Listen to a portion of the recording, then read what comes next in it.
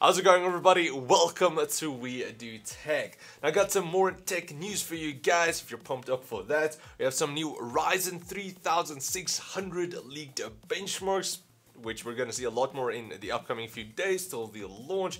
We have some news from Bill Gates talking about Android and Apple cancelling a camera. So all of that in today's tech news video.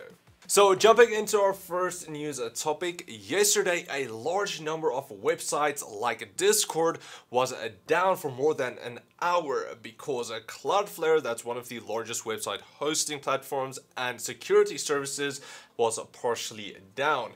Now, Cloudflare did say that they are working on a possible route leak affecting some of its network and who might be responsible for this possible route leak? Well, it was Noction and Verizon that was the culprits.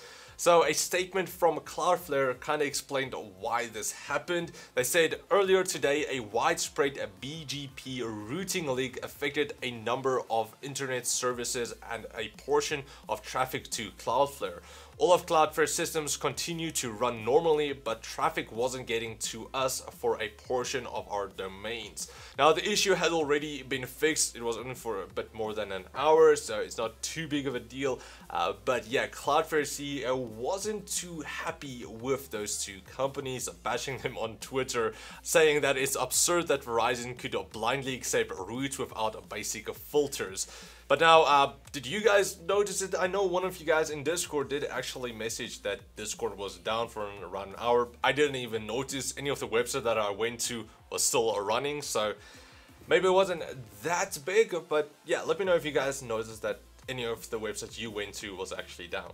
Then uh, moving on, recently Bill Gates had an interview uh, with the venture capital firm Village Global where Gates said that Microsoft's greatest mistake was missing the opportunity to build the largest mobile platform and instead it's uh, Google's mobile OS that's turned into a juggernaut.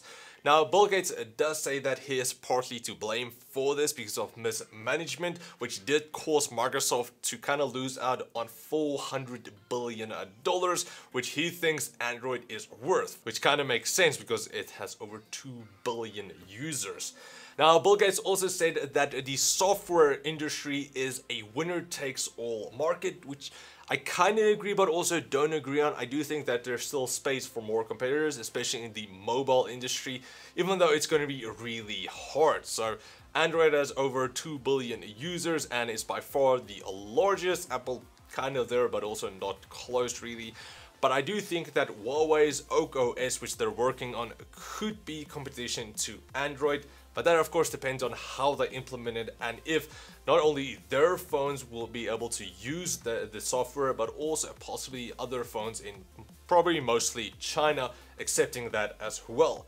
If that happens, then that could be a competitor to Android, possibly actually force Google to improve Android because Android isn't really that great. I mean, just currently compared to iOS iOS is so much more resource friendly. Uh, it's not as resource intensive or RAM intensive as Android, which you need 8 gigs of RAM in a phone nowadays.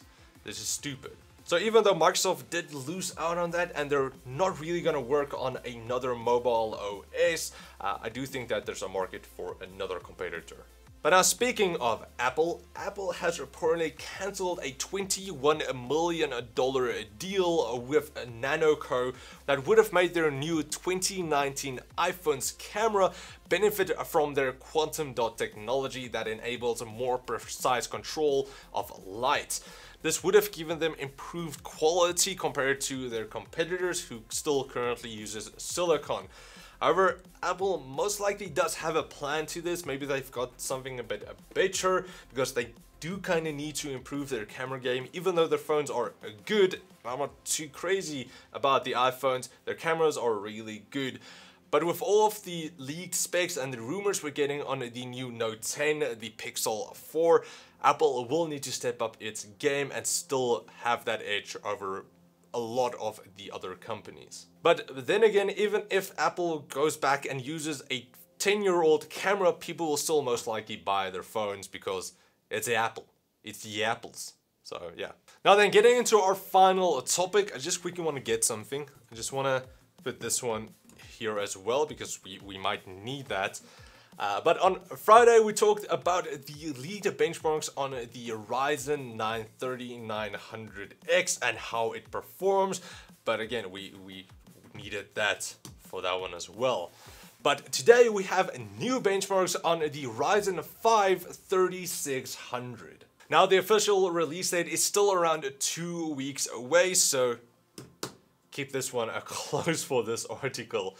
So the new benchmarks published on the website Al Chapuzas Informatico, I do hope I pronounced that correctly, showed the new $200 budget Ryzen chip with 6 cores, 12 threads, a base clock of 3.6 GHz and a boost clock of 4.6 GHz performing quite well compared to the Ryzen 2700 and then also the 9700K. Now, however, all of these benchmarks was still running on an X470 motherboard, so we didn't have any proper BIOS for that or anything. They were still running on the previous ones, so there was a lot of latency compared to the other complete systems. So once the new X570 boards are released and we do have official BIOS versions for X470, then we will see an increase in performance. But yeah, here we go.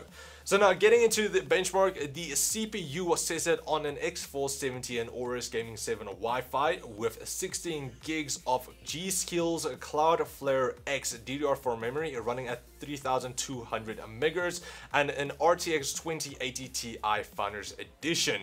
Now in all of the multi-core synthetic benchmarks, the 3600 outperformed the 9700X but a fall short against of course the 2700X that does have two more cores and four more threads.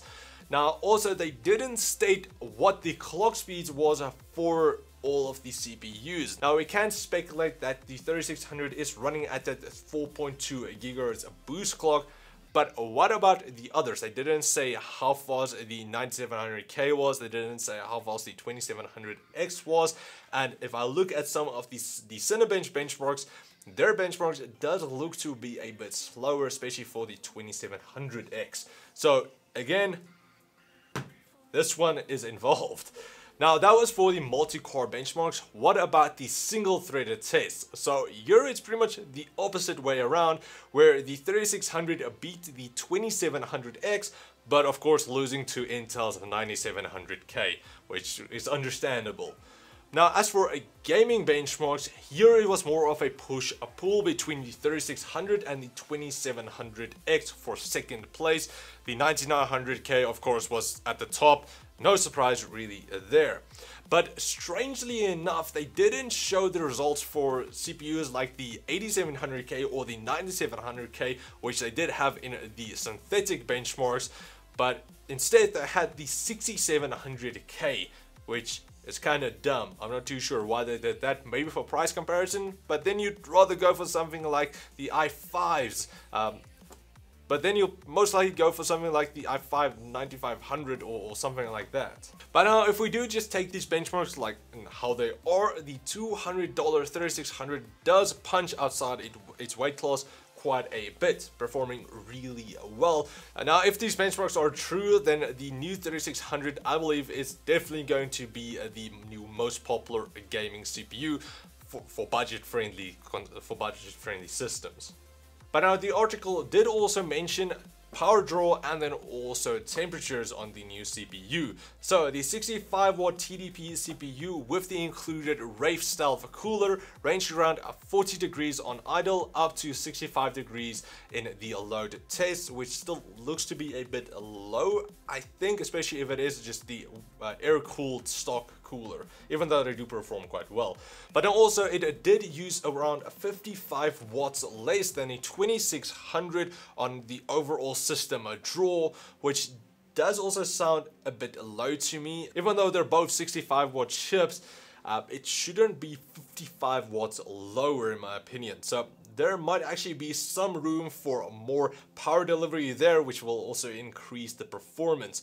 But again, could be the BIOS that's not delivering that power. Uh, it might just be the benchmark being really limited, but we'll see later on once we get closer to that official launch date. This is just some leaked benchmarks. So that's pretty much it for our tech news video. I do hope you guys enjoyed it. If you did, please like, share, comment, comment like always. I do hope you guys enjoyed it, and I'll check all of you next time. Cheers, guys.